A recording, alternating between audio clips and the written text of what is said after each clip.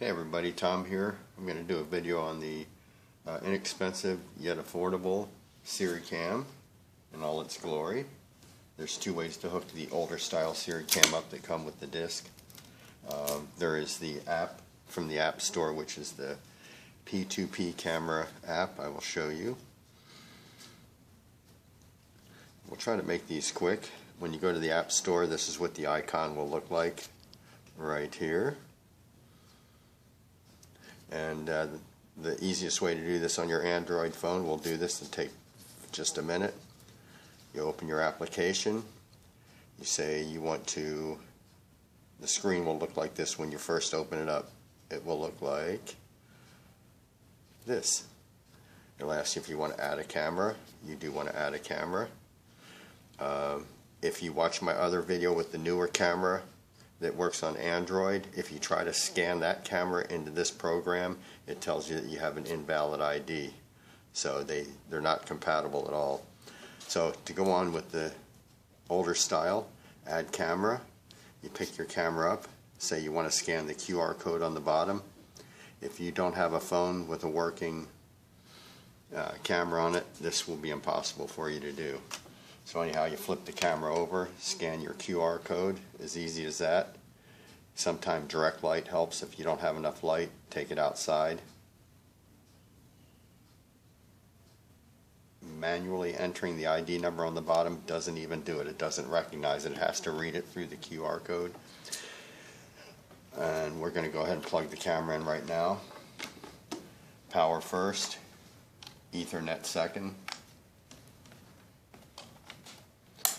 This cord is plugged in to the back of my wireless router.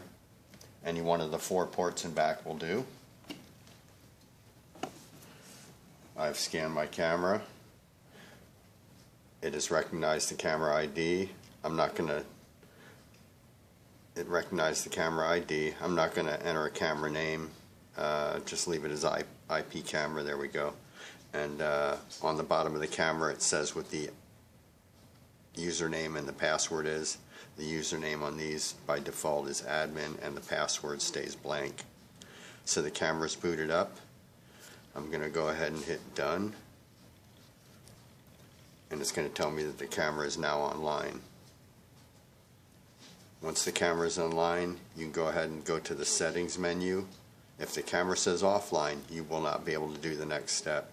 The camera has to be online settings menu, go to where it says Wi-Fi, and have it scan your wireless access points to see which one is your yours. There's the one at my place. It will automatically ask me for the password.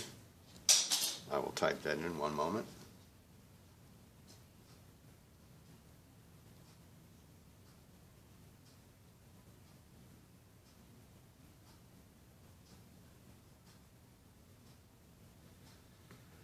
And I will click done. It will tell me that the camera is online and it will now reboot the camera.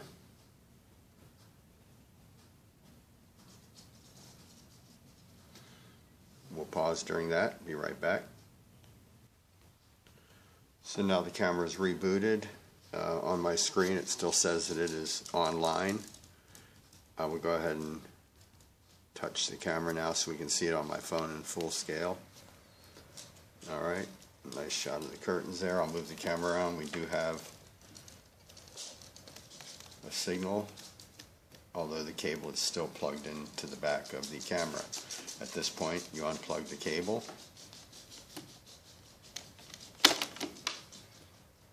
It freezes. And in about 10 seconds, it recognizes it.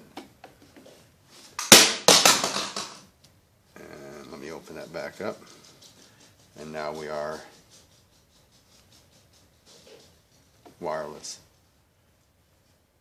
So that takes care of the Android phone, smartphone app setup to do it that way. Uh, my next video, uh, and there's a lot of parameters on this you can uh, you can do, so you have to just check that out as you go. Uh, there's uh, provisions for an alarm, email notification, um, just like a lot of them nowadays. Uh, all right, uh, I'm going to conclude on that one. Uh, the next one I'm going to do will be the same camera. We're going to use the CD in the drawer of the laptop, and we're going to set IP addresses, ports, and then we're going to get on to the. Uh, we're going to get on to my router, and we're going to do port forwarding and uh, reserve an IP address. See if it makes sense for you. All right, we'll see you soon. Bye.